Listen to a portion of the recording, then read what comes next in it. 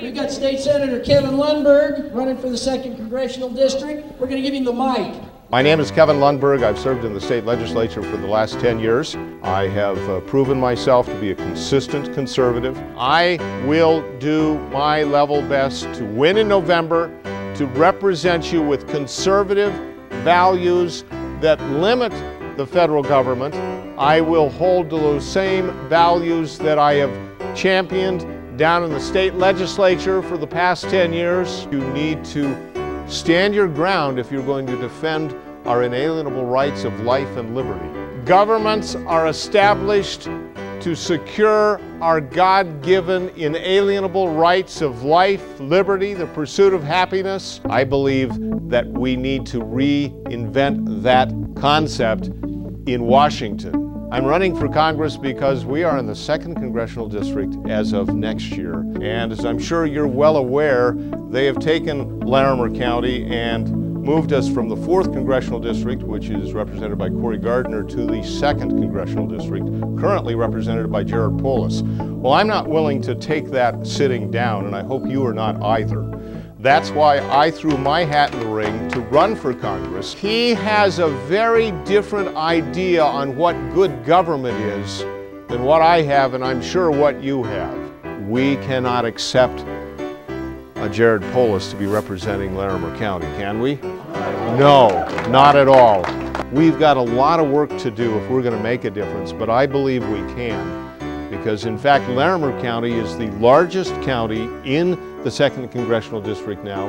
We intend to unseat the current representative, Jared Polis, and put conservative values back into Congress. So Larimer is 42% of the district, Boulder is 33% of the district. If we can make that difference in our own neighborhood, among our own circles of influence, it's a huge grassroots effort to make the difference because it's not, it, if it's just politics as usual, they win. But if it's the people rising up to make that difference, to say we've had enough of what Washington has been shoving down our throats, I don't believe this is an average year.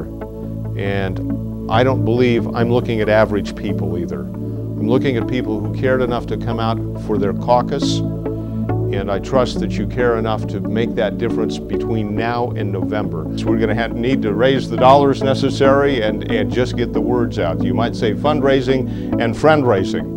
We've set up a website, lundberg2012.com. I need your help at the 2nd Congressional Assembly. I need your help with contributions. I need your help with spreading the word out to other people. We need to raise funds. We need to raise friends.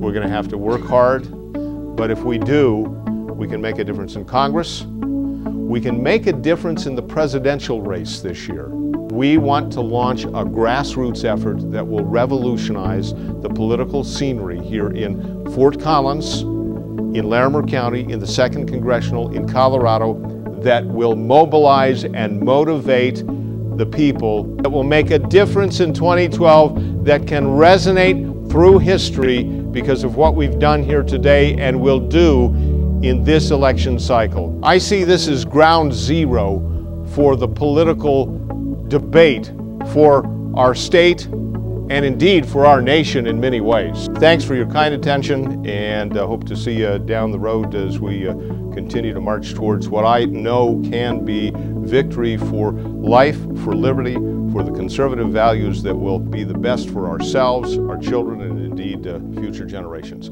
Thank you very much. Our website is lundberg2012.com. We can make history. Join me, will you? Thank you very much.